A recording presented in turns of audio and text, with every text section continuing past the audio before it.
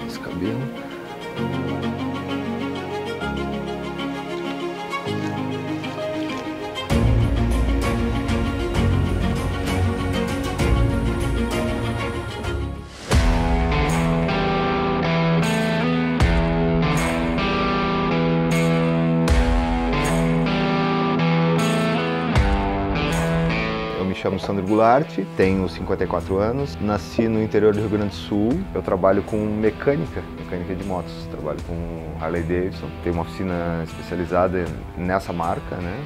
É, trabalho só com, com Harley. E começou de uma forma muito natural também, isso há uns 10 anos atrás. Eu morava, morava no Alto da 15. Na verdade, eu morava na oficina, né?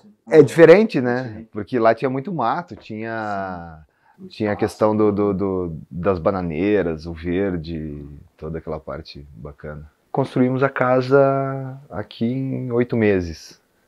né, E agora já, já tem cinco anos que, tô, que a gente está morando aqui. Aqui é uma área de preservação permanente, né, uma APP. Serra da Baitaca. A gente está no meio do mato mesmo. né, O meu vizinho mais próximo fica a 500 metros de, de distância daqui.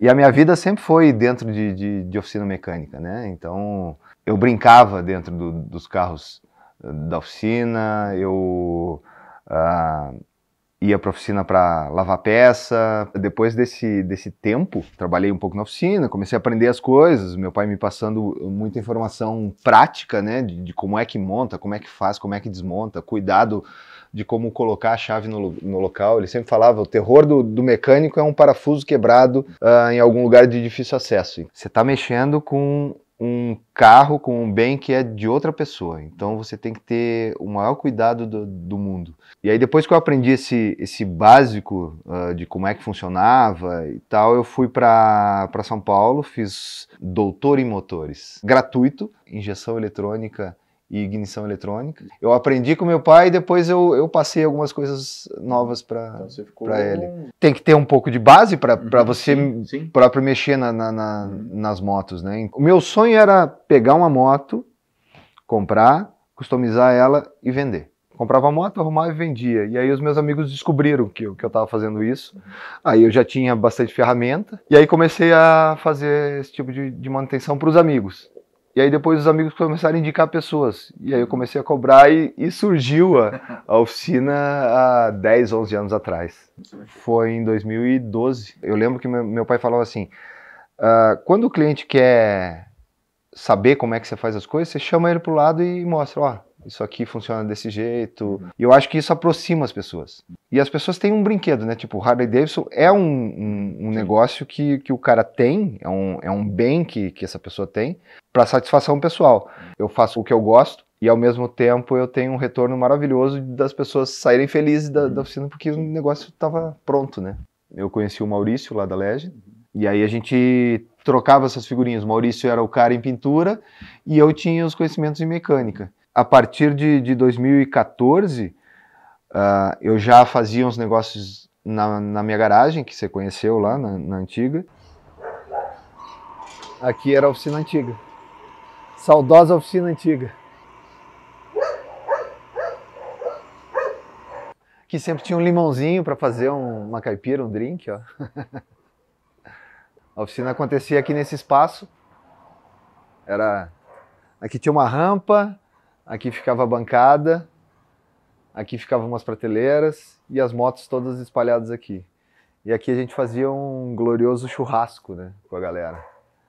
Foi aqui por muito tempo. Esse cantinho aqui era a cabine de pintura, ainda tem as prateleiras aqui, ó. Fazia no improviso. Tenho várias fotos. Era aqui que o negócio acontecia. A gente começou a. Uh, o Maurício conseguiu uns investidores e, e teve o sonho de montar a Legend. E aí eles falaram: Você quer ser o, o mecânico da, da parada? Eu falei: Quero. Quero. E aí a gente montou a oficina toda lá. Eu trabalhei um ano e meio Nossa, com, com eles. É, e depois, depois eu, eu saí e voltei para minha garagem. Uhum. E aí eu tive a ideia de novo de fazer o seguinte: eu vou só pegar as motos, arrumar, customizar e vender. Grande parte das pessoas que saem de lá falam para o outro: ó, ah, eu levei no Sandro. Ah, mas onde é que é o Sandro? Ah, o Sandro é no alto da 15. Uhum. Todo dia a gente aprende um treco novo. Às vezes o problema é muito simples, mas não é fácil de chegar aonde ele está. E aí essa, essa nova oficina, uh, ela foi construída, eu comprei a estrutura do, do, do bar, que era toda de metal, uhum. com chapas de metal e vigas de, de, de, de metal.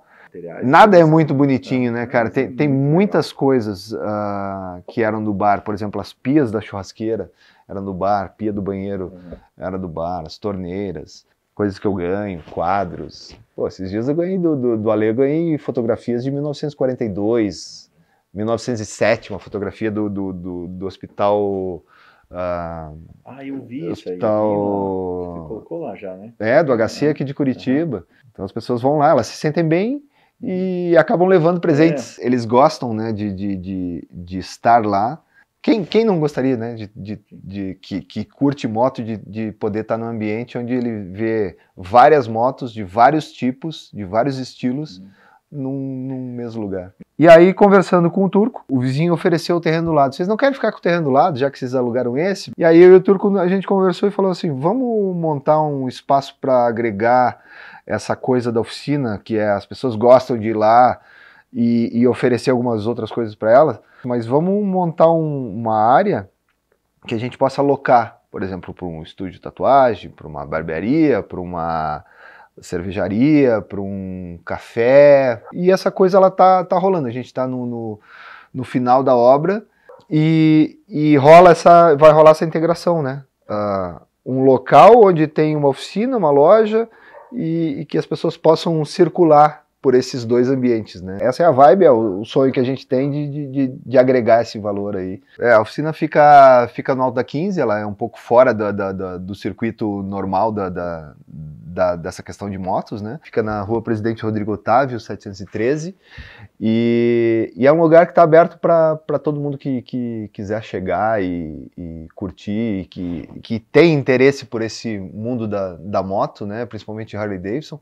Uh, é lá, é lá o, um lugar diferente, um lugar que eu acho que as pessoas vão, vão curtir. Vai chegar.